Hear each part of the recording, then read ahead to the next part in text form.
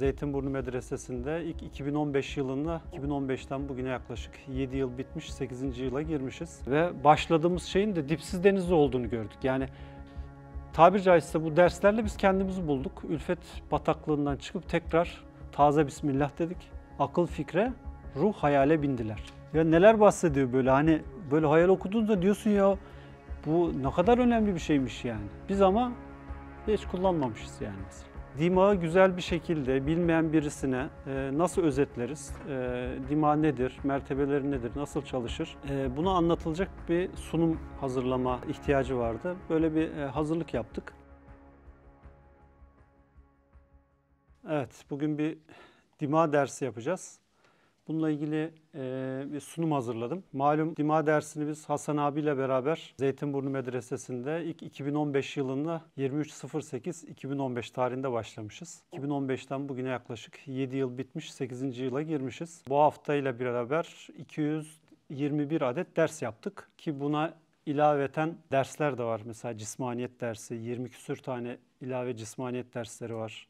Kabı Kavseyn dersleri, zan gibi böyle e, ilave dersler de var. Bununla beraber dima kendimizi tanımadan kendini bilen Rabbini bilir e, hadisi kutsusiyle e, belki başladığımız ilk Hasan abiyle istişare ettiğimizde nasıl neden başlayalım? Dimadan ve kalbe, dima ve kalbe gireriz. Bu şekilde o dima mertebelerini işleyelim gibi o gün 2015 yılında böyle bir şeyle niyetle başlanmıştı. Elhamdülillah şu an 221'i geçen hafta yaptık. Olabildiğince külli bir şekilde aslında bütün külliyata bu açıdan, bu e, niyetle bakmış oluyoruz.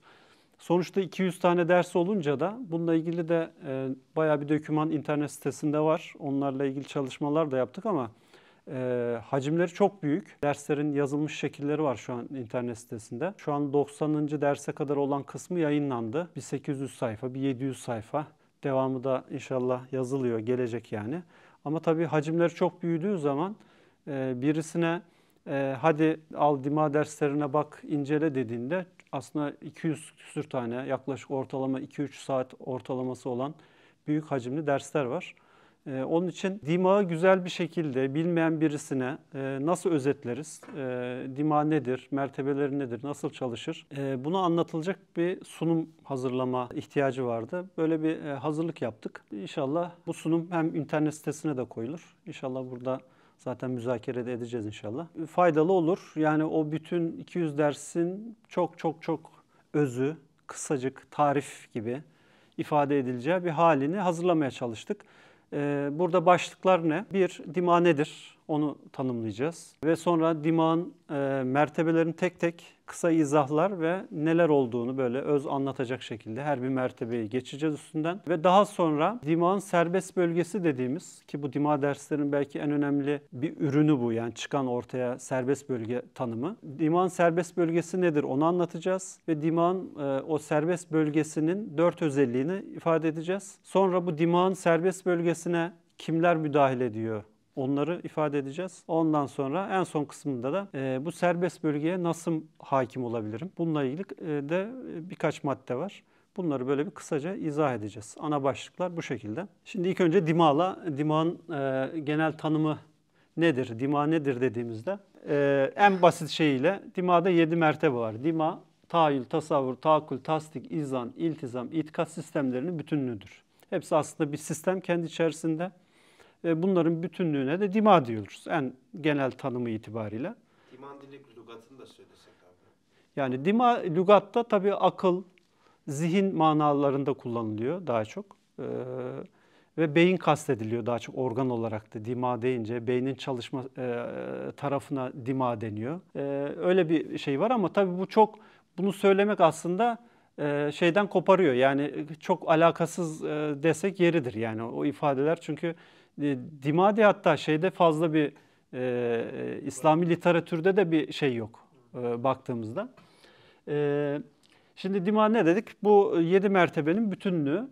E, bir tanım, bir ana tanımda diye bakacak olursak Dima bir santraldir. 18 bin alemi birbirine bağlayan bir merkezdir, bir kavşaktır. 18 bin alem. 18 bin alem deyince insan bir alem. insanın ve bütün o alemlerin kavşağında insan duruyor. 18 bin alemi cem etmiş. Bir haritayı kutsiye diyor mesela. E, ve e, burada da dima bu 18 bin alemle insanı bağlayan bir merkez şeklinde. Dimağla biz bu e, kavşaklığı, bu santralliği görevini dimağımızla e, muhatap oluyoruz. O noktada dimağın e, santral görevi var ki Risale-i Nur'da da santral ifadesi geçiyor. Onlarla da göreceğiz zaten. Bir tanımı da dima vahye muhatap olan ve insanı diğer canlılar ve ruhanilerden imtiyazlı kılan, ötelerin altyapı sistemini oluşturan, oraların alemimizde anlamlanmasını sağlayan, beşeriyetten insanlığa bizi dönüştüren, aynı şekilde insanı esfeli safiliğine de sukut ettiren bir sistem. Yani e, alayilliğine de çıkartabiliyor. Yani öteleri, altyapısını e,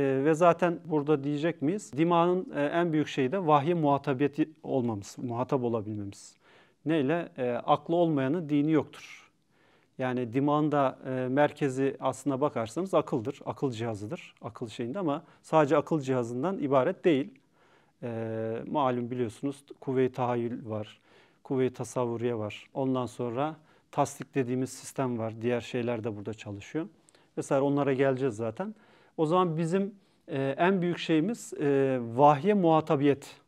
Dima vahye muhatabiyetimizi sağlıyor. Ve bu noktada dima aslında kritik bir öneme sahip. Dimağı çalışmayan ya da sağlam olmayan o zaman o vahyede muhatap olamıyor. Bir diğer tanımı da yine külliyatta geçiyor. Dima kalbin makis efkarıdır. Yani kalbe ait fikirlerin sentezlendiği, çözümlendiği yerdir. Kalbin makisi efkarı. Ne demek? Makisi efkar. Neyin efkarı? Ha, fikirin, efkarın, fikirlerin aksettiği yer. Kalp, Kalpteki yani kalbin iki merkezi var. Zaten şimdi bir sonra şeyde de onu diyeceğiz. Efkarın, fikirlerin makes bulduğu, gözüktüğü, aksettiği yer yani nasıl bunun manası? Fikirlerin sentezlendiği, çözümlendiği yer. Vicdan da kalbin mazhar hissiyatı. Dima ile vicdan kalbi besler. İki alt şubesi aslında. Kalbin manevi tarafı vicdan, kalbin manevi tarafı vicdan, ilmi tarafı dimadır. O hemen o şekli şöyle şey yaparsak tekrar o okuduğumuz kısmı. Malum şeyde geçiyor. İşaretül İcaz 77'de geçiyor ve 700 sözler 732'de geçiyor. Kalp dediğimiz zaman iki e, ayak üzerine durur. Hasan abi de onu çokça söylüyor zaten. Kalbin neyi var? Bir manevi tarafı var, bir ilmi tarafı var. Yani bunun mülk tarafı veya meleküt tarafı da diyebiliriz. Kalp dediğimiz zaman sadece bu ikisi yok ama en e, iki ayak üzerine durduğunu düşünürsek bir tarafı vicdan, bir tarafı da dimadır kalbin. İki şubesi, ana şubesi. Bu işte mülk tarafı dimadır, melekut tarafı vicdandır. Kalbin ilmi tarafı dimadır, kalbin manevi tarafı vicdandır. Onun için biz kalp dediğimiz zaman aslında e, bu iki hem e, dimağı hem de vicdanı cem eden bir cihazdan bahsediyoruz. Genel itibariyle tabii bu ayrıymış gibi. Akıl ve kalp dediğimiz zaman aslında aklın e, ayrı, kalbin ayrı olduğu bir cihaz akla geliyor. Akıl kalp diye genelde literatürde o, o şekilde geçiyor ama Risale-i Nur'da Üstad açık bir şekilde ne diyor? İşaretül İcaz'da. Kalpten maksat sanebari bir et parçası değildir ancak bir latife Rabbaniyedir ki mazhar hissiyatı vicdan, makis efkarı dimadır değil mi? Geçiyor bu e, şeyi biliyoruz bildiğimiz bir yer. Hissiyatın mazhar olduğu yer vicdan, kalp bir tarafı odur diyor üstad ve fikirlerin makes bulduğu yer dimadır. O zaman biz kalbi e, düşündüğümüz zaman e, aslında bu iki cihazı düşüneceğiz. Onun için e, bir tarafı ilmi tarafı olmadığı zaman kalp tek vicdanla yürümeye çalışıyor. Ya da tersi kalp sadece ilmi tarafa ağırlık verdiğin zaman vicdani taraf beslenmediği zaman da o zaman da manevi tarafı olmuyor. Sadece dima ya da akıl dediğimiz bunun merkezinde akıl olması sebebiyle bu taraf bu taraf o zaman üstün geliyor. Kalp o zaman ne yapamıyor? Hani malum şeyde geçiyor kalp bir kumandan gibi e, letaif askerleriyle kahramanane e, maksada yürüsün diye ifade geçiyor hatırlarsanız külliyatta da. Yani üstadın e, o tanımı baktığımızda bunlarla birleştirdiğimizde aslında kalbin iki şubesinden birisini biz konuşuyoruz. Ki şu an dima derslerinde bunun bütün mertebeleriyle konuştuk inşallah. Şu an mesela vicdana da başlamış olduk. Vicdanda da zihni yaptık dersini. Şu an irade kısmını yapıyoruz. His de herhalde bir, bir ders oldu mu bilmiyorum. Yok hiç daha iyisi olmadı. Şu an e, vicdan tarafında yapıyoruz. Yani o zaman dima dediğimiz zaman e, ne düşüneceğiz genel itibariyle? Maddi boyutu kalbin Ha, mülk tarafı mülk tarafı. dima, ilmi bak, ilme bakan. ha ilme bakan tarafı E, manevi tarafı da vicdan. O zaman kalbi böyle e, ama bu ikisinden hariç kalbin içinde diye, gene diğer başka yapılar da var. İki ayağı dediğimiz iki şey üzerine durduğu. Üstad da zaten görüyorsunuz direkt o ifade var. E, kalp deyince bunları düşünmek gerekiyor. Üstad bunu nazara veriyor. Onun için ayrı ayrı cihazlar manasında düşünmemek gerekiyor. Şu anki şey bu, mülahaza. Dima dediğimizde de bizim 18 bin alemi ile bizi bağlayan bir kavşak ve vahye muhatabiyetimizi öteleri bize bağlayan aradaki bir bağlantı kısmı olduğunu düşünmemiz gerekiyor genel itibariyle. Ee, burada da mesela imanın yeri kalptir. Dima ise, dima ise makisi nur iman. iman nurunun e, aksettiği yer oluyor. Ee, o da yine kalbin bir şeyi. Dima dediğimiz zaman aslında dima kelimesi külliyatta çok çok fazla da geçen bir kelime değil belli yerlerde geçiyor ama Üstad oralarda tafsilat vermiş. Zaten orayı da okuyacağız. Ee, daha çok insan yabancı olduğumuz bir kelime ama baktığımızda e, hakikaten e, bilinmesi gereken, insanı kendini tanıması için aslında ilk mülk tarafında dimağı bilmesi gerekiyor. Çünkü orayla muhatabız. Ki serbest bölgeyi de görürsek zaten Dima peki nereden e, çıktı hani? Dimağa biz nasıl başladık? Azıcık hafiften girdim o zaman. Hasan abiyle e, böyle müzakereli bir dersler yapalım. Biz de gelip gidiyorduk böyle e, cumartesi derslerine. E, tabii oradaki şeyden daha ötesini aradığımız için biraz daha böyle e, iştiyaklı olan buradakiler gibi diyelim. Dedik ki ya bir kendi aramızda konuşup dedik ya Hasan abi ile bir görüşelim.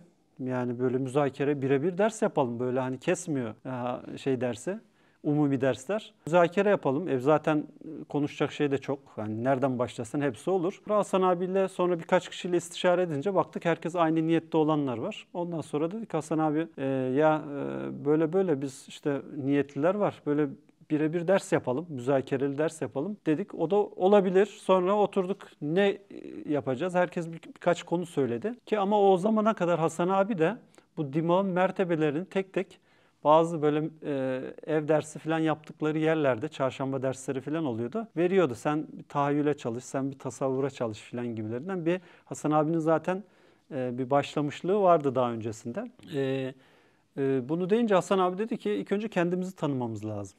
Yani kendimizi bilmiyoruz. İnsan düşün. Sen Rabbini bilmeye kalkıyorsun ama kendini bilmiyorsun. Yani e, hakikaten de e, aslında ki, e, Rabbini bileceğin yegane yer kendinde. Yani kendi aynanda, kendi cihazlarınla, hissiyatınla, kendi aynana düşen kısım zaten senin Rabbin oluyor. Ama kendi yapını bilmediğin zaman zaten o nasıl bilmek olacak değil mi? Yani kendimizi bilme noktasında Hasan abi o zaman e, işte bazıları kader dedi, bazıları başka konular dedi böyle hani e, merak çeken müzakere edilecek. Ama baktık ki bu dimadan başlayıp kalbe kadar e, bütün o cihazların üstünden geçelim. Yani hakikaten o kadar sene Risale-i Nur okuyoruz, müzakere yapmışız vesaire vesaire çalışmışız ama birkaç soru sorduğumuzda şöyle ileriye dönük o nedir, bu nedir, şu peki nedir dediğimizde bakıyoruz ki çok basit lügatların ötesinde bir ifade çıkmıyor. Yani hani işte rubiyet nedir? Rablığıdır, idareciliği bitti. Kalp nedir?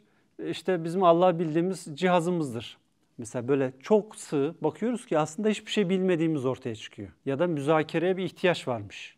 E, dima nedir? İşte akıldır, beyindir, bizim düşünme sistemimizdir filan desek e, çok sığ kalıyor. Ama Üstad da ne yapmış mesela? Yedi mertebeye ayırmış ki bildiğim kadarıyla da İslami literatürde böyle bir yedi mertebeye ayırma en fazla akıl deniyor. Akıldan öte bir şey cihaz tanınmıyor mesela bilinen. Akılla ilgili çok şey denmiş ama dima ile ve dimağı da yedi mertebeye ayırarak ifade etmek bildiğim kadarıyla sadece üstad bunu ifade etmiş. Bunu bu kadar ifade etmişken ve o zaman bunu da müzakere edip derinlerine inmeye başladığımızda da gördük ki aslında külliyatta üstad bu divan yedi mertebesiyle tümünü ifade etmiş. Yani o gözlüğü takarsan yani ben bunu çalışacağım dediğin zaten külliyatın şeyi odur özelliği odur. Hangi konuya çalışıyorsan o gözlüğü taktığında bir bakıyorsun hep o, o gözlükle her şey ifadelenmiş aslında gibi görüyorsun.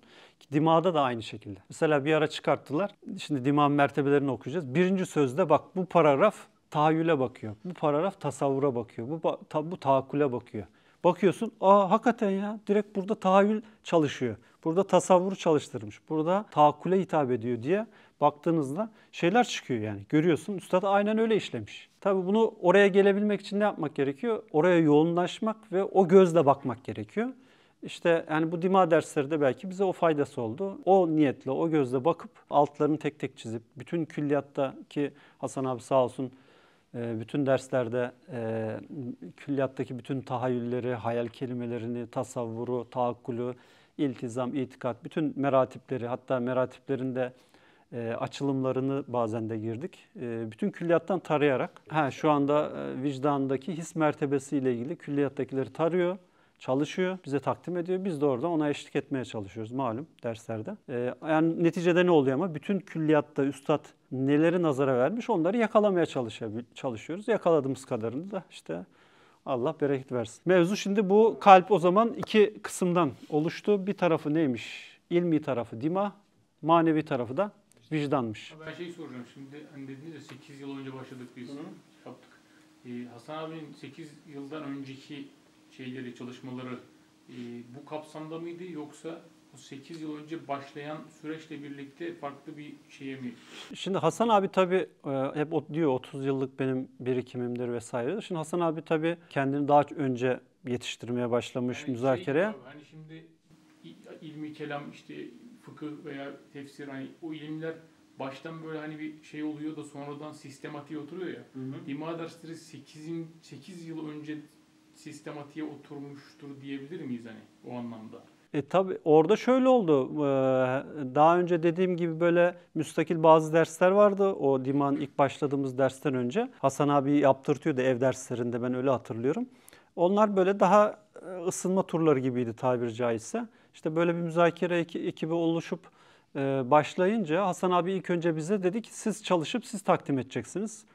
E, Bir hafta siz takdim edeceksiniz, bir hafta ben şeklinde.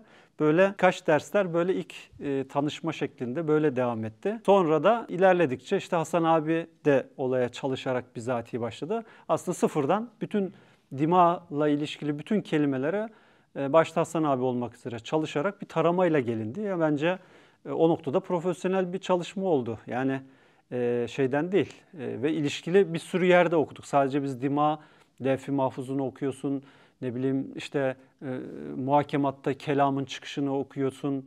E, e, ondan sonra kelamı okuyorsun, ademi okuyorsun. Çünkü ilişkili bir sürü şey var. O konulara da bir sürü girildi. Sadece ama e, bütün e, bir sinir ağı gibi düşünürsek ilişkili bazı yerlere de geçtik hep mesela. İşte cismaniyeti konuştuk mesela. Bir yere geldik. Cismaniyet nedir dedik yani. Bu gördüğümüz elma nedir? Var mı yok mu mesela? Hani öyle deniyor en kaba itibariyle. Bazı görüşler demiş ki her şey hayaldir demiş. Bazısı e, işte yani vahdetül vücut meslekleri çıkmış, panteistler çıkmış, bilmem neler. Bunlar ciddi mevzular konuşulmuş. Basit gibi geliyor ama belli şeyleri konuşmaya başladığınızda bir yere basmak zorundasınız. Mesela cismaniyet. Bu gördüğümüz cisim, ceset, beden nedir? Mesela dimağın 7. dersinden sonra dimağı kestik. Hasan abi dedi ki cismaniyet ben çalışacağım veya çalışmıştı galiba ya da çalışayım dedi. Bütün külliyattan cismaniyet toplu 20 küsür tane ders yapıldı. O araya cismaniyet 20 dersiyle girdi. Ee, onun müzakeresini yaptık, bitirdik. Tekrar Dima 8'den itibaren şeye başladık. Kaldığımız yerden. Yürümen için onu bilmen gerekiyor. Bir yere onu basman gerekiyor. Bu gördüğümüz şey nedir? Bu elma var mı yok mu? Mesela hani. Varsa nasıl bir vardır, yoksa nasıl yoktur? Neye göre nasıl var diyeceğiz bunu. Ne oldu bunlar? Sizde kazanımı ne oldu bunlara girince? Basit bir ifadeyle. Hasan abinin dediği var yani. Ee, diyor ya e, işte e, şey önce diyor elma elmaymış işte ağaç ağaç değilmiş diyor. Sonra diyor geçti. Hatırladınız değil mi o mevzuyu? Yani o gibi aslında bakarsan da hani sen değişiyorsun. Yani Hasan abi hakikaten onu böyle espri gibi söylüyordu. Ben de şimdi soranlara öyle diyorum yani. Ne oldu? Ben değiştim aslında bakarsan. Yani onunla o e, tabii oraya girerse konu değişir de hani mevzumuz şu an cismaniyet nedir ama e, netice itibariyle dima konuşmaya kalktığınızda onları da konuşmak zorundasınız. Kelamla ilgili çok konuştuk mesela. Kelam, ne bileyim e, konu başlıkları, adem konusunu çok konuştuk. Ondan sonra mecule e, lefi mahfuzdur, arş-ı azam, şecere ilkati mecburen konuşmak zorundasın. Çünkü de- devamlı ilişkisi var. Harita da bu dersler sonucu Yok, o, o harita Hasan abi zaten hazırlamıştı. Tabii tabii, o bizden yani şeyden öncedir. o, o da ciddi çok ciddi bir çalışma gerektiriyor abi. Tabii canım onu zaten Hasan abi nasıl hazırladı onu bilmiyoruz yani arkadaşlar. Destek almadan olmayacağı kesin abi. Ama anlatıyordu yani rüyamdan bir kalkıyordum rengine kadar Hasan abi şey yapıyor diyordu. Muhittin Arabi diyormuş ki şu renk olacak, bu renk olacak. Öyle şey, o şekilde detaylı şeyler var. Ya işte himmet etmek. Yani aslında e, bütün dima konuşurken bütün külliyatta diğer bir sürü konuya da e, girerek yürüdüğümüz bir Cenab-ı Hak sevk etti tabii elhamdülillah. Ee, hala da devam ediyoruz iştiyakla. Evet şimdi geçiyoruz. Değilse bitmeyecek böyle. Ama hani hikayesini de anlatmış oluyoruz. Nereden çıktık? Hani 8 yıldır abi yani e, ve elhamdülillah ha, hiç kesilmedi diyebiliriz yani. Hani malum Hasan abi bir ara e, onun dışında böyle yazın bayramdır mayramdır böyle bir, bir buçuk ay bazen Hasan abi işte memlekete ya da yurt dışına gitmesileri böyle birkaç ayı geçmemiştir yani koptuğu yani. Tabii tabii aynı cumartesi biz derse geliyorduk böyle e, şeyle can havliyle dinleyip çünkü yeni duyuyoruz şeyleri. Ülfet var. Ülfetten çıkmaya çalışıyorsun. Risale-i Nur'u affedersin okumaya kalktığında uykun geliyor. Hepsini ben biliyorum. Kaderi anlatırım, 10. sözü anlatırım. Küçük sözleri zaten ezbere anlatırım sana. 10. sözü anlatayım, hakikatleri açayım, ders yapayım. 29 Bekay Ruh'tan açayım, kaderi açayım, anlatayım sana. Daha önce Otu, kalmış mıydınız otu, abi medresede? ben kaldım. Yani yaklaşık 9 yıl kaldım. Hem talebeyken kaldım, belli bir sürede çalışırken kaldım medresede. Ama ne oluyordu? Ülfetle sarmalandık. Niye ülfetle sarmalandık? Çünkü bildiğimizi tamam dedik. O lafzı bilmek ya da orada geçen yeri ya da Hasan abi de hep onu diyor ya. Bence o hakikaten çok kritik bir konu. Yani Risale-i Nur'u bilmek mevzu değil ya da ilim dağarcığımıza bir sürü şeyi koyup kalkıp böyle ifade edebilmek değil. Mühim olan kendini bilmek, mahiyetini bilmek. Sen nesin? Cenab-ı Hak nedir? Yani bunu bilmek, e, bilmeye erişmesi lazım. Biz hani ben zannediyordum ki e, bilgi dağarcığımı doldurup doldurup böyle alim yani her şeyi bilen olmak zannediyordum varılacak mertebeyi. Yani Risale-i Nur'u ben bileceğim, bileceğim, bileceğim, bileceğim. Artık böyle hani her şeyi bileceğim. Tamam işte orası varılacak nihayet nokta. Aslında o değilmiş. O bildiklerinle bilmediğini bilmen gerekiyormuş. Çünkü dipsiz bir denizi görüyorsun bildiklerinle. Aslında bilmediğini de görüyorsun. Ee, böyle bir ters ilişki var aslında konuda. Ee, onun için hani külliyatta işte onu biliyorum, bunu biliyorum, anlatırım, otursan herkese ders yaparsın.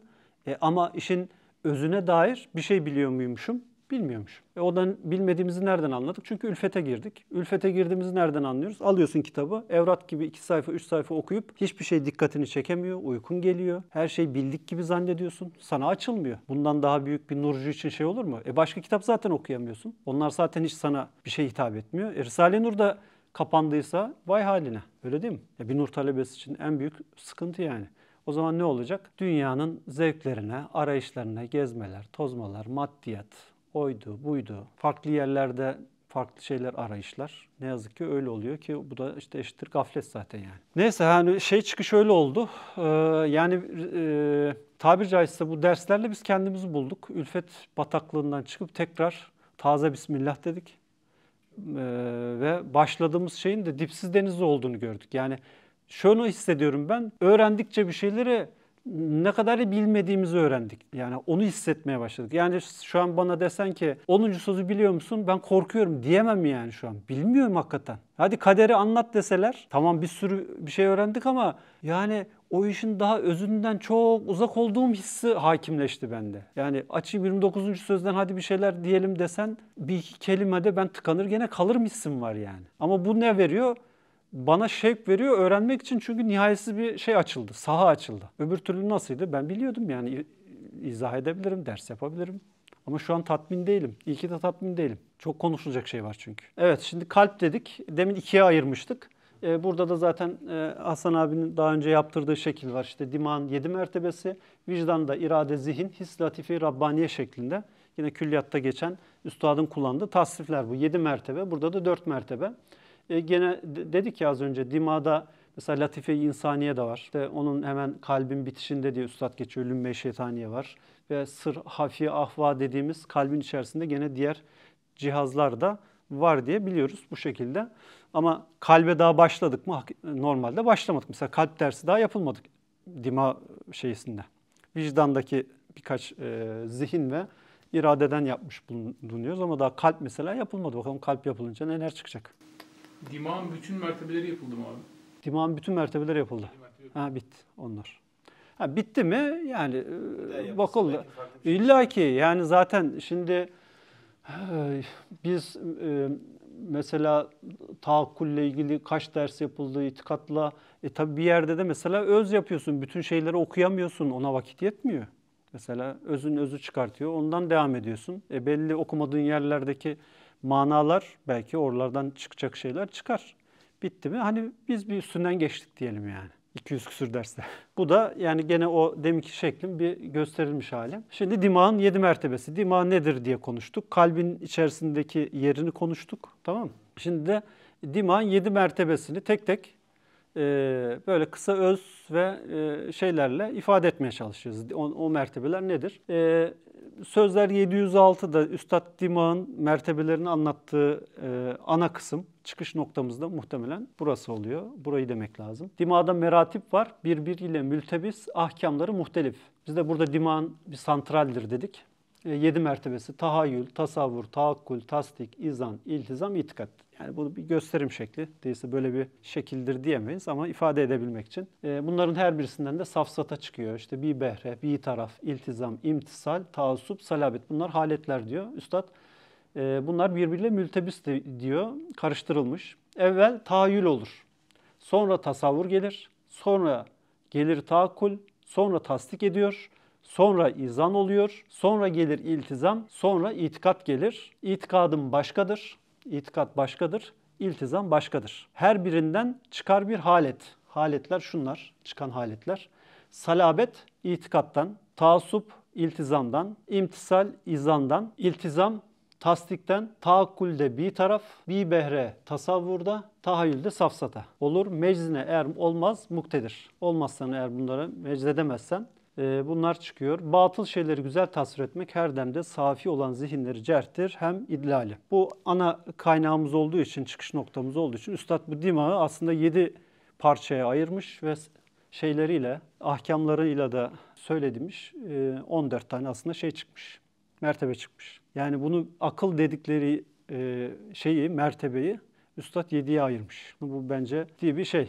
Bir de mesela Mektubat 443'te geçiyor. İnsanın kafasındaki dimağı hassiz, telsiz, telgraf, telefonların santral denilen merkezi misiliyor. Kainatın bir nevi merkezi manevisi. Hani dedik ya öteleri burayla birleştiren. Yani bizim e, haberleşme merkezimiz, bu oradaki bağı kurma merkezimiz dimağlı oluyor. Dimağın o yedi meratibiyle yapabiliyoruz. Ve diğer cihazlarımız işte kalbe, vicdana, diğer şeyleri bu dimağ vasıtasıyla yapıyoruz. Böyle onunla ilgili santral şekilleri de koyduk. Bu iki yer 706 ile bu kısım böyle dimağın e, ana tarifi diyebileceğimiz kısımlar. Yani bu dimadan vicdana giden bir yol var. Tabii İnsanın hepsine. kalbine giden bir yol var. Bir kavşak yani bütün insan Evet. vücudundaki bütün o şeylere. Aynen hem içerisindeki diğer cihazlarınla hem de senin diğer e, alemlerle olan bağlantını yapıyor. Dimağla oluşuyor. Ki vahye muhatap olan dima mesela. Veya bizim yedi duygudan gelen e, şeylerimiz bizim e, tahayyülümüze, tasavvurumuza geliyor. Onları içeri alıyoruz ve onları kendimize göre ilim yapıyoruz ya da hak ya da batıl şeye dönüştürüyoruz. Yani şu an siz benim mesela konuştuklarımı nasıl duyuyorsunuz? Kulakla giriyor. Hayalinizde, tasavvurunuzda şekillendiriyorsunuz. Şimdi onları konuşacağız mesela. Yani şu an dimağınız çalışıyor mesela. Dimağla alıyorsunuz benim dediklerimi. S- sisteminde bir sürü alt cihazlar var. Şimdi onları konuşacağız zaten. O öyle de anlatabiliriz yani. Şimdi e, dimağın yedi mertebesini tek tek böyle e, kısa özetler halinde ifade edeceğiz. Sorabiliriz, şey yapabiliriz ona göre. Şimdi birinci kısım neydi? Birincisi tahayyül. Tamam? Soracağım ha. Ona göre. Çok böyle sunum yapıyor şeyinde kaldım fazla bir kırmam lazım şeyi. Birincisi tahayyül. Ee, tahayyülden ne çıkıyormuş? Safsata. Değil mi? Safsata ne? Var mı? Bir diyeceğiniz şey. Kuvve-i hayaliyemizin çalıştığı bir sistem. Hayal kuvvemizin, hayal kuvvesinin çalıştığı sistem. Tahayyül. Onun çalışmasına tahayyül diyoruz. İçeriği safsata haletidir. Dimağın birinci mertebesidir. Demek dimağın ilk mertebesi hayal. Cisim, ceset, bedenden duygular yoluyla dimağımıza giren her şeye suretler tayin, teşhis edip birer miktar muayyen, birer şekli mahsus veren ve o mahsus suretleri biçip diken, giydiren kuvve-i hayaliyemizdir. Hayal ne yapıyormuş? Bizim dışarıdan gelen her şeye suret tayin ediyor, teşhis ediyor, bir miktar belirliyor. Ee, onları biçip dikip giydiriyor. Elbisehane diye geçiyor, terzihane diye geçer. Hayal şeyimiz. Bu işlemlerin yapıldığı yerde dimağımızın tahayyül mertebesidir. Yedi duyudan gelenler dimağda taayyün ve teşahhüs edip suret giyer. Bu mahal tahayyürdür. Tahayyül hayallerin, şekillerin imalathanesidir. ve mekan anlayışımızı oluşturur. Yani ne hayal edelim ki bir mekan olmasın. Her hayal ettiğiniz şey otomatik mekanı oluşturur. Mekansız bir şey hayal edemeyiz. Yani mekanıyla beraber gelir. Onun için mekan tahayyüle bakar, zaman tasavvura bakacak. Şimdi ileriki kısımda da söyleyeceğiz. Neymiş o zaman tahayyül? Şekillerin biçilip kesilip oluşturulduğu, bizim diğer duyduklarımız, gördüklerimiz de gelenlere bir şekil veriyoruz. Şimdi onu bir izah örnekte de şey yapacağım. Gene tahayyüldeyiz. Hayal bu tahayyül içerisindeki bir birim sadece değil mi?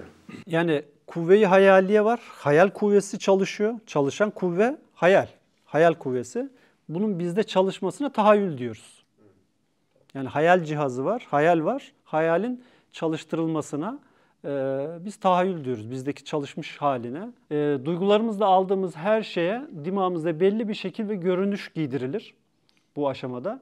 Şekil derken sadece şekil değil, koku, tat, dokunma şeyler de hayal edilir. Mesela diyorsun ki ya bir ne şey yemiştik, bir e, dürüm yemiştik de onun tadı neydi ya orada. Hiç unutmuyorum. Mesela bunu kim şey yaptı? O hayali, bak o hayal çalıştı. Neyi sana şey yaptı? Sadece şekil değil. O tadı da, o yediğin şeyin ya da bir öyle bir koku vardı ya o ne güzel kokuyordu ya. O, o simidin kokusu neydi öyle mesela? Çocukluktaki ya da bilmem şöyle de bir ekmek yapılmıştı da şöyle işte mesela ne oldu bak onu bile hayalin getirdi sana kokuyu, tadı, o şeyi koku duruyor mesela sende. Sadece şekil değil. Hayal edilir ona uygun elbiseyi sana getirir. Mesela böyle pratik örnek dediğimizde limon dediğimizde ne oldu mesela? Ağzın ekşidi. Şimdi limon benden benim ağzımdan çıkan limon kelimesi kulağına girdi. Girdikten sonra ilk senin tahayyülünü çalıştırdı.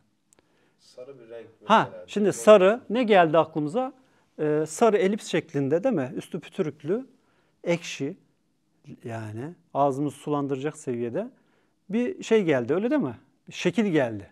Bak şekil gelmemesi mümkün değil. Şekilsiz düşünemiyorsun. İlk önce şekil arkasından şeyler. Zaten onu konuşacağız. İşte bu iş, bunu sana getiren tahayyül. Yani çalışmaması pek mümkün değil. Ben limon dedim. Limonu hayal etmemen ya da limonun sende hemen karşılığını uyanmaması mümkün değil. Çünkü öğrenme ve çalışma mekanizması o şekilde çalışıyor. Ben limon dediğimde senin hayalin onun içerideki önceki öğrenilmiş şeyini bulup sana getirip göstermesi lazım ki sen anlayışın, fikrin devam etsin. Bunu getiremezse mesela ben Çince bir kelime söylesem mesela.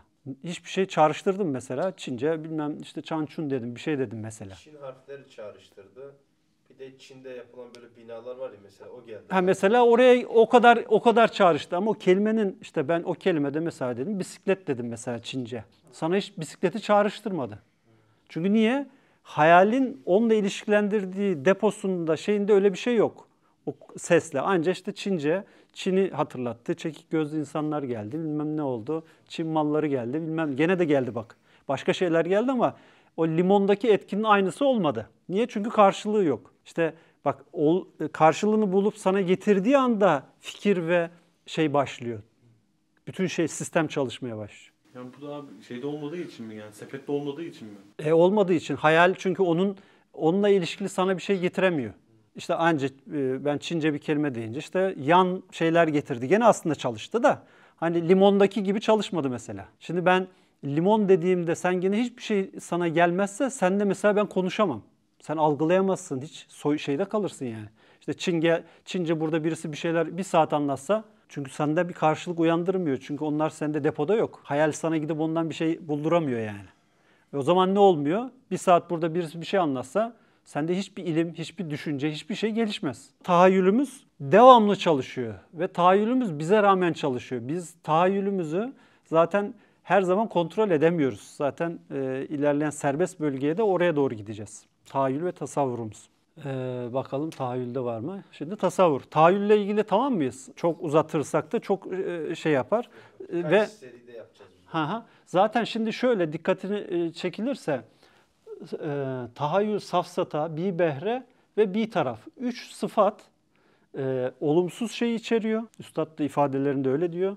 İltizam, imtisal, taassup, salabet bunlar daha müsbet ifadelerdir ki buna göre de diman şekli ortaya çıkıyor. Mesela tahayyül, safsata. Bunu kontrol edemezsen safsata ortaya çıkar. Hem kötü hem şey tarafı var. Üstadın bu, e, bu sıfatlardan e, tahayyül ve dik- e, şimdi şöyle bir şeye bakın yani genel kelimeye bakalım tamam mı? Madem oraya girdik o kısma vurgu yapalım. Şimdi çıkan haletlerden safsata ve bir, behre olumsuzluk içeriyor. Olumsuzluğu gösteriyor ki o 706'daki ifadede öyle. Bir taraf ne demek? Tarafsız demek. Bu ortada. Tamam mı? Bak dimağın şekli de buna göre çıkacak. İltizam müsbet bir kelimedir. Yani iltizam tarafkirliktir. Tamam mı? Ee, imtisal o da tarafkirlik manasında, imtisal etmek manasında. Taassup ve salabet. Bu kelimelerin hepsi aslında müsbet kelimeler. Bir taraf ve meylin olduğu, müsbet neticelerin verildiği kelimeler. Şu iki kelime dikkatinizi çekerse olumsuz kelimelerdir. Çıkan aletler. Üstad aslında tahayyül ve tasavvurdan çıkacak şeylerin genel itibariyle kontrolü olmadığından safsata ve bir behre çıktığını kontrol edemediğinde buraya müsait bir yapısı var. Taakul bir taraf, tarafsızlık bir tarafı var. Berzahlık boyutu var ki onları gireceğiz yani şeyine gelince konuşuruz. İltizam, imtisal ve taassup salabette artık bir tarafa meyletmiş orada çalışan bir sistemden, haletten bahsediyoruz. Onun için bu e, safsata ve bir behrelik tarafı e, bu iki e, mertebenin aslında oldukça oynak ve kaygan olduğunu, çıkacak şeylerin genellikle de olumsuz şeyler olduğunu Üstad ifade ediyor. Mesela bir Vesvese Risalesini açıp baktığımızda Üstad dima anlatıyormuş aslında. Ben oradaki bazı yerleri e, koyulaştırarak o kısımları aldım. Eğer vakit yeterse oralara da bakarız. Hani Risale-i Nur'daki direkt karşılıkları. Yani Vesvese Risalesi ha- tahayyül ve tasavvurun nasıl çalıştığını anlatıyormuş aslında. Tabii biz imtisali o kadar yaptık ki izan kadar imtisal yapmışızdır.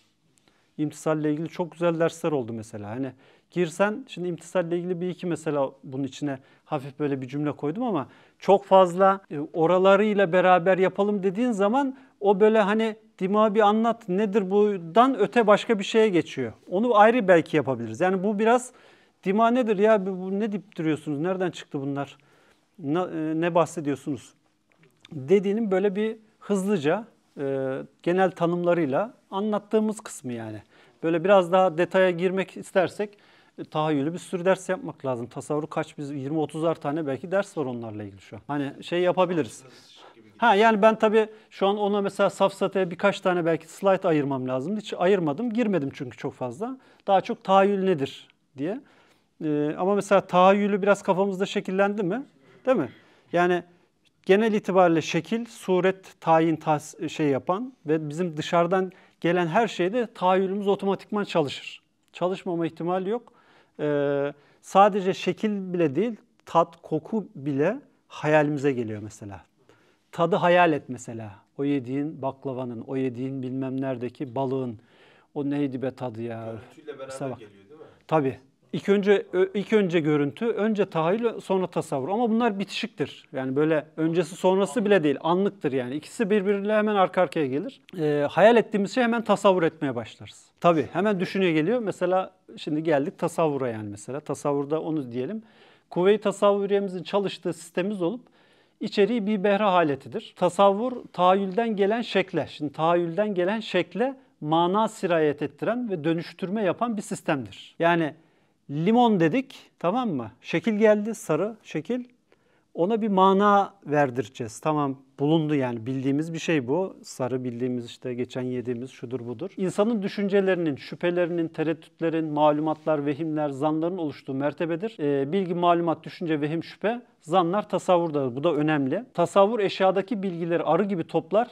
Tasavvur düşüncelerin imal edildiği yerdir. Tasavvur emri nisbi ve emri itibarilerle çalışır. Zaman anlayışımızı oluşturur. Ee, burada tasavvur aslında çapı çok büyük. Yani bizim bildiğimiz ve düşündüğümüz dediğimiz her şey aslında tasavvurun imalat, imali. Ve çoğunu biz aslında tasavvuru taakkulle çok karıştırıyoruz. Biz düşündüğümüz, bildiklerimizi aklettiğimizi zannediyoruz. Aslında akıl taakkul mertebesi değil, tasavvurdur. Bizim bütün bildiğimiz şeyler, konuştuğumuz şeyler genel itibariyle tasavvur mertebesidir. Ya hayal ya tasavvurdur yani zaten.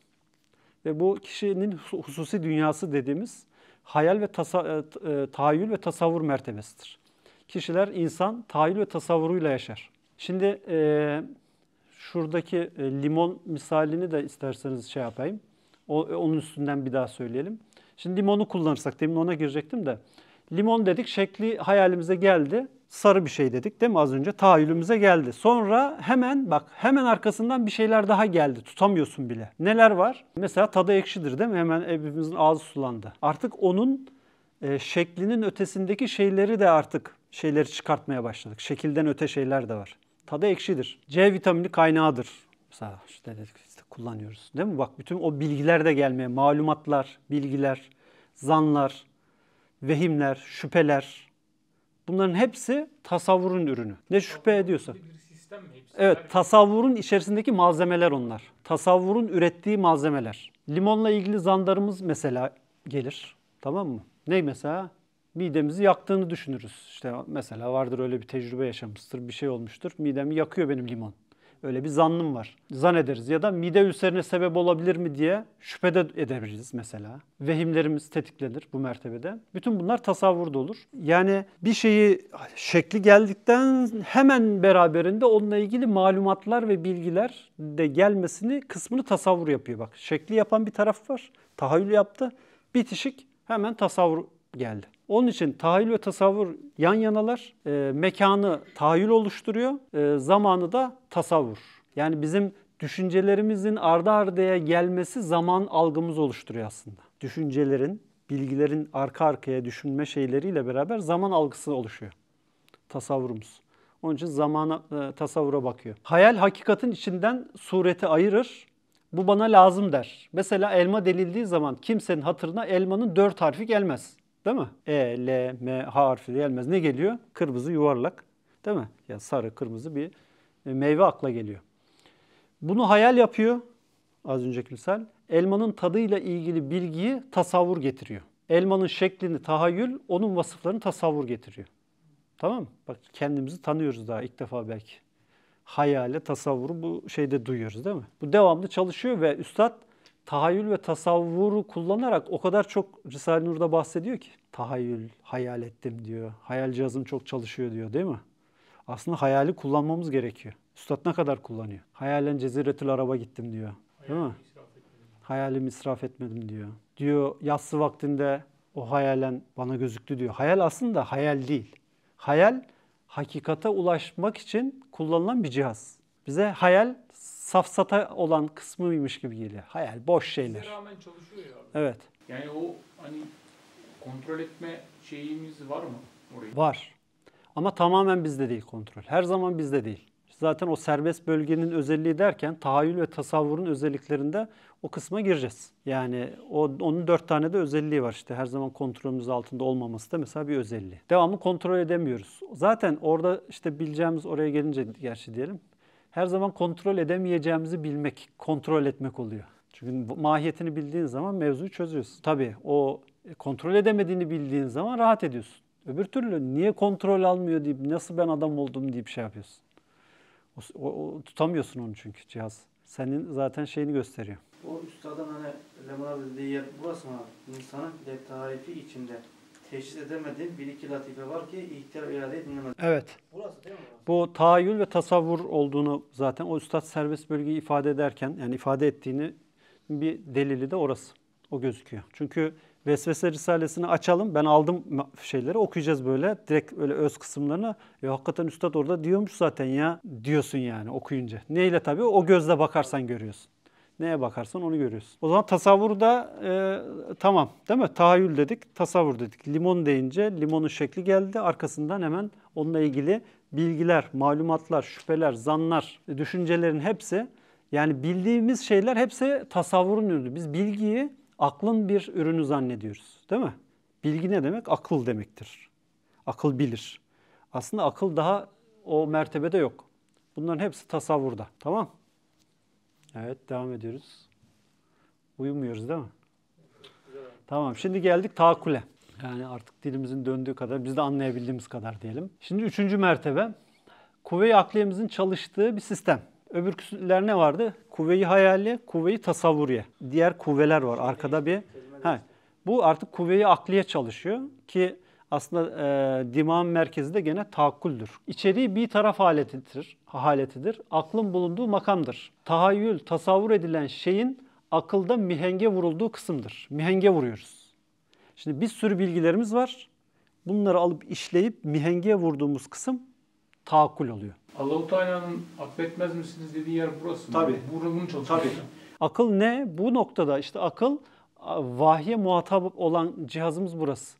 Buradaki bir taraflık sıfatı vahye muhatabiyetle kalkıyor. Bir tarafken akıl ölçebiliyor. Öyle mi böyle mi? Bu mudur bu mudur? Tarafsız. Vahyi dinliyor, felsefeyi dinliyor, sentezliyor, bir karar şey yapıyor, üretim yapıyor. Bunlarla ilgili analizleri yapıyor. Göre. Ha, çıktı üretiyor ve sonra arkasından da tasdik gelecek. Burası önemli bir yer. Tabii. Yani e, bu iki kontrol edilmeyen bölgeden sonra tarafsız olan ama e, esas işlemin vahye muhatabiyetin e, görüldüğü kısım bu. Akıl vahye muhatap. Ve vahyi ya dinleyecek ya dinlemeyecek. Ya dinleyerek bir üretim yapacak.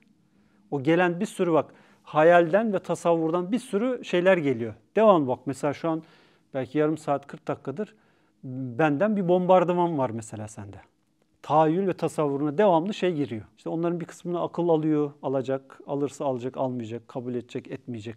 Yani tasdikle beraber. Bu yani acayip bir e, devamlı yaşanan bir durumla karşı karşıyayız yani. Bildiğimiz bir şey değil. Farkında değiliz yani hani. Yemek yiyince ne olduğunu farkında olmadığımız gibi yiyorsun. Sistem çalışıyor neler neler değil mi ki? Bilmiyoruz ama yani. Ama biraz bilirsek belli şeyleri ona göre yaşamaya çalışıyoruz. Ki bu işin manevi tarafı, o maddi tarafı. Ben şu an şöyle düşünüyorum abi. Tahayyül üç imi var. Tasavvur, mühendis, taakkul de şimdi ona isim vereceğim kendime. Tamam güzel. Daha iyi anlamam için. Tamam olur abi aynen.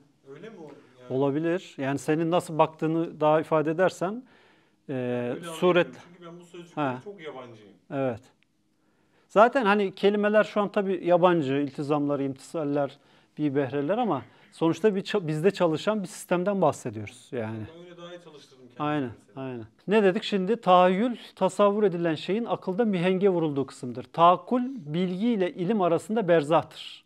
İçinde akıl bir yapıdır, alettir, cihazdır.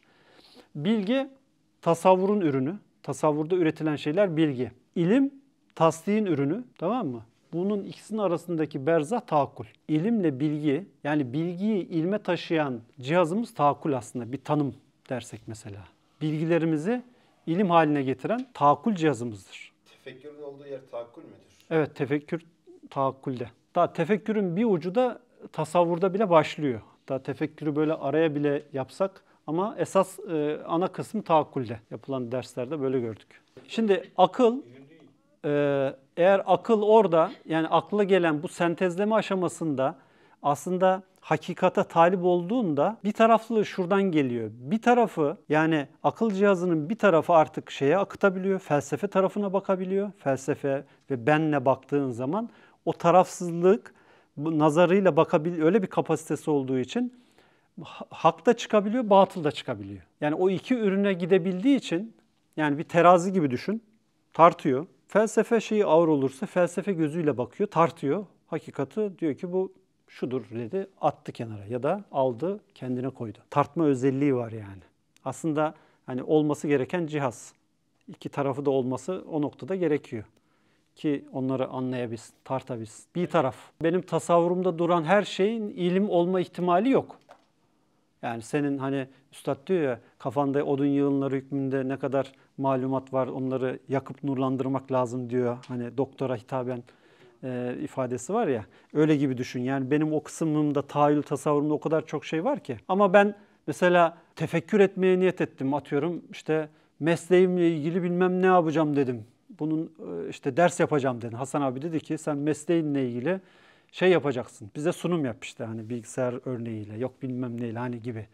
O güne kadar senin için onlar bilgiydi. Hiç onları düşünmemiştim bile yani. Nasıl onlar hakikatin temsil için kullanılabilir. Mesela sen şeydi değil mi uçak mesela. Sen uçak uçağın çalışma sistemiyle insanın mahiyetini anlatacaksın dese sen hiç düşünmediğin o bilgilerini tefekkür etmeye başladın. Mesela hariçten sana şey geldi, ya merak etti ya bir bir şey sordu. Sen tefekkür etmeye başladın. Bak bilgin ilme dönüşmeye başladı. Sen malzemeleri tartıyorsun, öyle midir, buraya mı bakar? İşte uçağın e, pilotu işte zihne bakar, yok e, kabin işte dimağa bakar. Belki temsiller yapmaya başlıyorsun. Uçuş şeyi bilmem ha- hayale bakar. Bir kanadı tahayyüldür, bir kanadı tasavvurdur. Uçurur, ister düşürür. Başladın.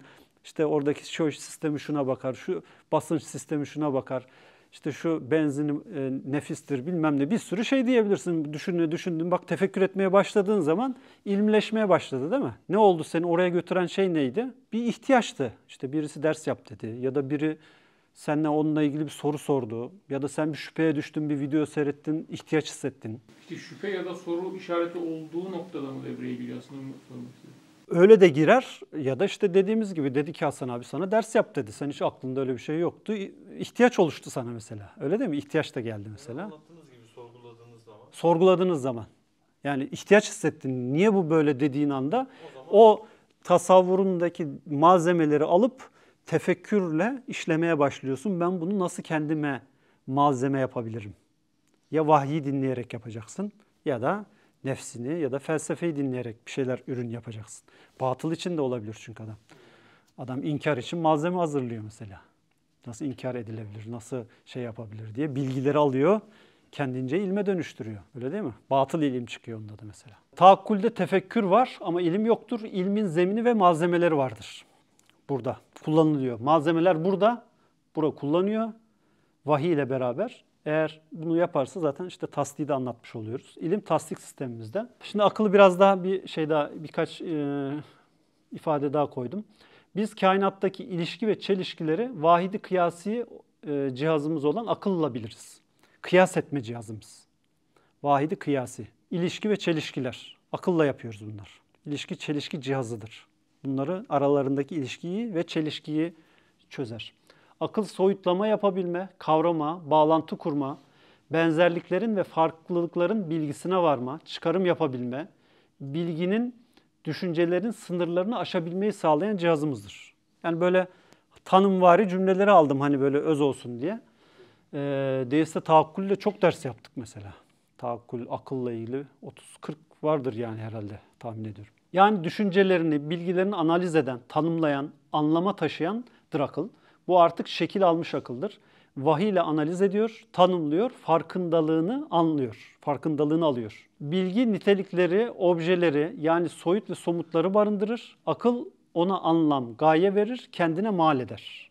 Yani tefekkür ederek bunları e, üstünde çalışıyor. İlişkileri, çelişkileri. Bilginin, düşüncelerin, malumatların sınırlarını aşabilmeyi sağlar. Bilginin, malumatın sınırını aşabilmek. Bir sana sınır getiriyor. Onun aşırmayı sağlayan te- akıl cihazı. Neyle? Vahiyle ve şeyle.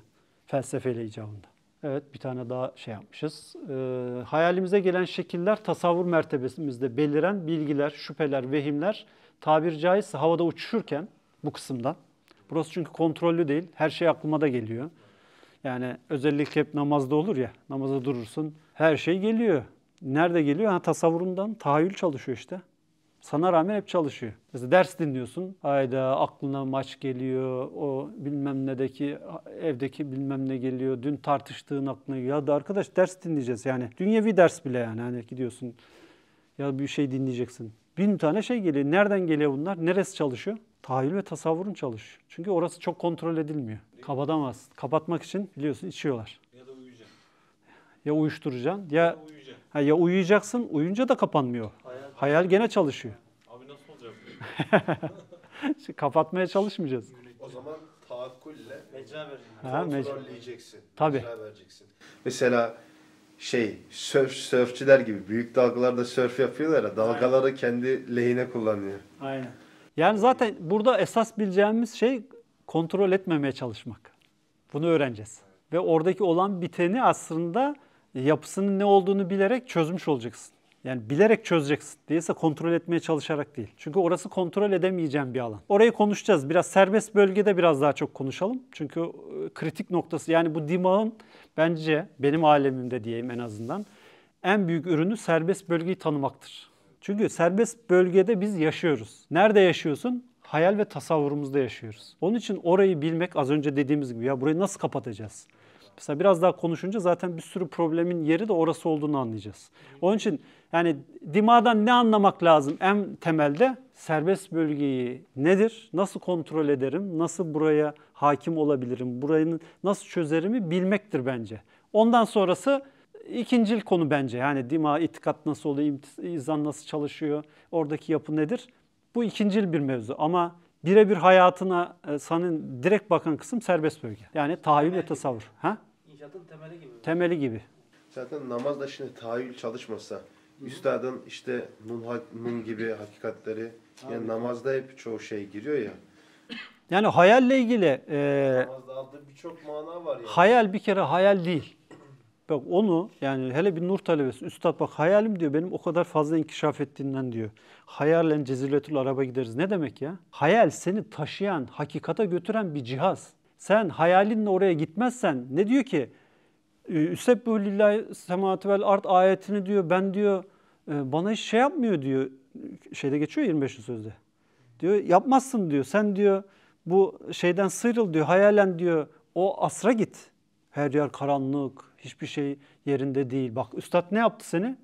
Hayalen götürdü, hayalini çalıştırıyor. Eğer hayalini çalıştırmazsan o hakikat sana tesir etmez. Ay, öyle demiyor mu? Tüsebbu levsemat vel art ayetinin diyor ben harika belatını göremiyorum diyor. O da diyor ki bu, bu asırda göremezsin diyor. Hayalen git diyor o karanlık asra. Her şey zulmatlı, karanlık, hiçbir şey. Birden diyor tüsebbu sedasıyla sema ve arz dirildi. Hepsi sema, şey e, tesbih ediyorlar diyor. Bak ne yaptı? Hayalen oraya götürdü. Hayal cihazını kullanmazsan o ayet sana belaat gözükmüyor. Yani hayal hayal değil. Biz hayali hep safsata diye boş hayal kurma ya ne salak salak ne yapıyorsun boş boş hayal kuruyorsun. Değil mi? Hep bizim böyle hayal dediğimiz şey boş bir şey. Çünkü niye? Hakikate hiç kullanmamışız. Onun için yani hayali kullanmak gerekiyor. Mesela hayalen diyor Kabe'ye karşı şey yapıp durmak menduptur yani. Hayalen kullan. Hayalini kullanacaksın zaten işte. Diyecektim abi? Ümre'de bir arkadaşımız Medine'de ezanı kayda aldı komple. Ama hiç görüntüsüz yani. Ne yapıyorsun dediğimde eve gittiğimde dedi, hani özlediğimde dedi, kulaklığımı takıp dedi, karanlık bir odada dedi, hayal etmek istiyorum dedi burada. Aynen öyle. Bak hayali aslında orada ihtiyaç haline. Ama bak üstad bunu meleke haline getirtiyor. Hayal benim çok gelişmiş diyor.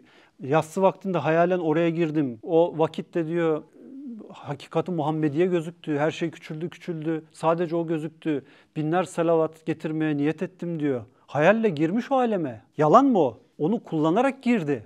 Yani biz hayali fasafiso zannediyoruz yani. Hayalimiz o kadar körelmiş ki bizim. Yani hani sırf hayalin o tarafını konuşsak var ya. Yani onun için e, hayali kullanamadığın şey hakikata geçme ihtimalin çok azalıyor. Hayal, tasavvur hemen arkasında o geliyor zaten. Ceziretül Arab'a gideriz. İşte şeyinden sıyrıl diyor. Zaman elbisesinden şeyinden sıyrıl. Çıplak olarak oraya dalacağız diyor. Hayalen sahile çıkacağız diyor. Daha ne desin yani? Değil mi? Bunu yapmazsan diyor anlamazsın kusura bakma diyor yani. Mesela ben ihtiyarladım diyor. Sonra hayalini kullanıyor. Diyor ki günde ihtiyarladı. ikindi vaktine bakıyor. Sonra dünya da ihtiyarlamış diyor. Mesela dünyayı da ihtiyar yani ahir zaman ona da ihtiyarlandığını görüyor. Öyle mesela ihtiyarlık hakikatini yine hayalini kullanarak da vuruyor. Güne vuruyor, dünyaya vuruyor, asra vuruyor. Aynen. Çok acayip ya. Kullanıyor yani acayip. Ne diyordu? Ee, akıl fikre, ruh hayale bindiler diyor. Hatırladınız mı? Akıl fikre, ruh hayale bindiler. Ya neler bahsediyor böyle hani böyle hayal okuduğunda diyorsun ya bu ne kadar önemli bir şeymiş yani. Biz ama hiç kullanmamışız yani mesela. Onun için dimağın hakikaten bir noktada baktığında e, tahayyül ve tasavvur çok kritik şeyler var. Ve insanın yani neyse oraya gelince serbest bölgenin özellikleri kısmında söyleyeceğiz biraz da. Şurayı da okuyoruz o zaman. Şimdi havada uçuşuyor tasavvurda. Bunları mihenge, ölçülere vurularak düzenliyor ta taakkul. Kullanıma hazır hale gelmesi gerekmektedir ki bu mertebede bu mihenge vurma, düzenleme işlemi aklımız kullanılarak yapılır. Aklımız hayal ve düşüncelerimizden gelenleri, hayal ve düşün, tasavvurdan gelenleri tartar, biçer, mihenk olarak kullandığı önceden kazandığı üst bilgilerle kıyas eder. Tefekkür ediyor işte kıyas etmesi. Tartıyor, ölçüyor daha öncekilerle. Yani burada fikirler olgunlaşır. Burada hamdı, burası bir depo. Topladık topladık buraya bunları. Ama buradan az önce konuştuğumuz gibi tefekkür edeceğimiz, kullanacağımız, ihtiyacımıza göre, duruma göre olanlar tefekkür edilip kullanılıp buraya ilim olarak gönderilecek. Bu kısmın motoru bu, tahakkul. Y- yine misali kullandım, aynı misalden gidelim, limon misalinden.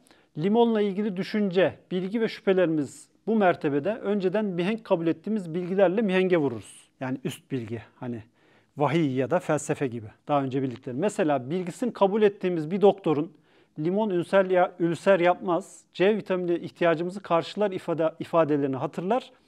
O bilgiyle yani o üst bilgiyle düşüncelerimizi ölç- ölçer tartarız. Az önce ne diyorduk? Ya bu midemi ekşitiyor, mide ülsere sebebiyet verebilir. Şüphe diyorduk böyle şeyler şey yapmışız. Ama sonra dedik ki bildiğimiz, güvendiğimiz bir doktor yok işte e, C vitaminimizi karşılar, mide ülseri yapmaz bilmem ne diyor dediğini duyduk. Bununla tarttık evet ya öyledir böyledir aslında niye öyle şudur falan filan. Verdiği bilgilere göre miyenge vurularak olgunlaştırılır. Miyenge uymayanlar da göz ardı edilir. İşte bu tefekkür etme kısmını tahakkül yaptı. Bak tarttı, ölçtü, biçti. Üst bilgiyi kullandı. Hani vahiy diyelim mesela o şeye ya da felsefe o da olabilir. İkisinden birini kullandı. O bilgileri tarttı, bildi. Kendine göre mal etti. Yok dedi kardeşim limon yiyeceğim dedi. Sıktı yemeye başladı. Artık ilim haline geldi yani. Kendine o bilgiyi ilimleştirdi. Yalnız dersi örnek limon ya. Milletin hep hassas konusu. Millet artık nasıl Evet. isteyecek? Limonlu bir ders. tamam mı? Bir kafada oluştu değil mi? Tahakkül. Ne yaptı? Tahayyül tasavvurdaki şeyleri alıp kestik, biçtik, tefekkür ettik. Üst bilgiler, vahiy ya da felsefeyle bunları tarttık, eledik. Kendimize kullanacağımız kısmı tasdiye atacağız. O kısım. Süzeceğiz. Süzeceğiz. Süzme ve şey. Lillahi Teala Fatiha.